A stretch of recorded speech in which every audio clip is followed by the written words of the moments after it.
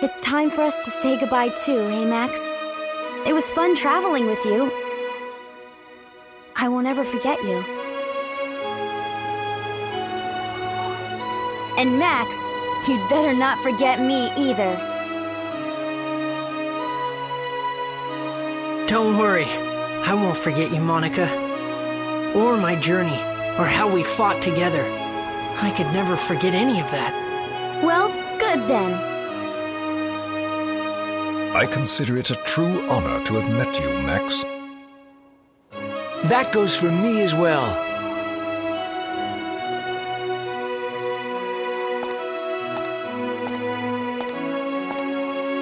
Max, you were wonderful. I'm so proud of you. Mother, It's time to say goodbye, Max.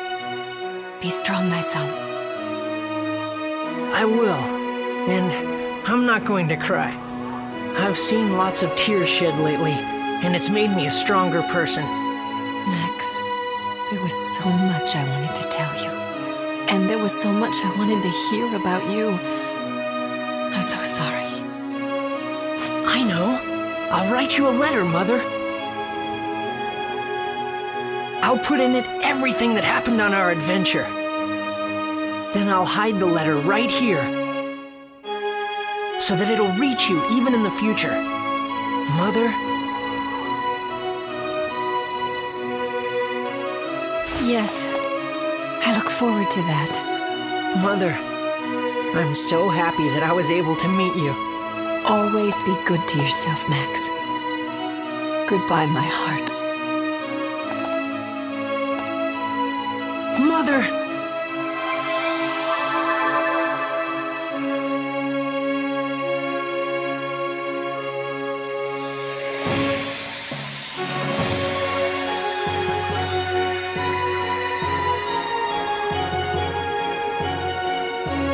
Chrono Union is closing.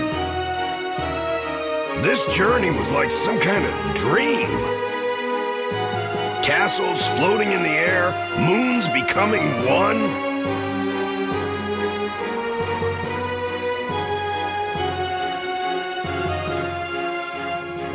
Yeah, just like a dream. Hmm, you're right. Your journey was just a dream. There's always been just one moon.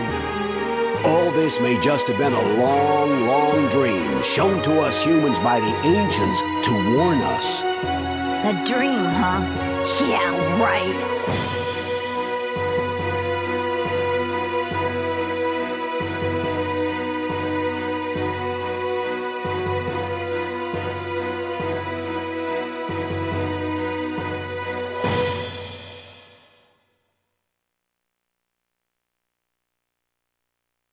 Well, Mother, it turned out a little long, but this is finally the end of my letter.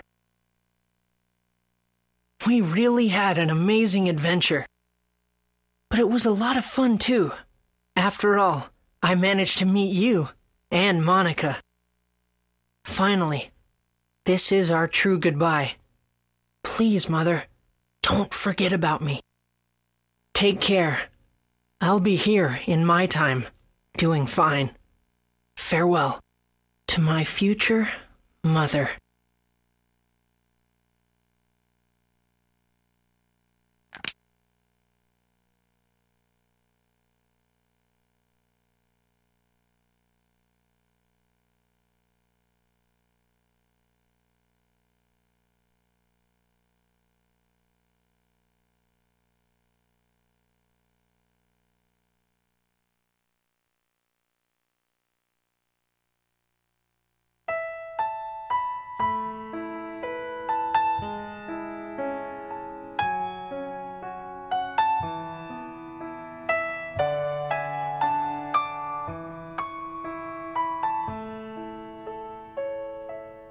Take my chances,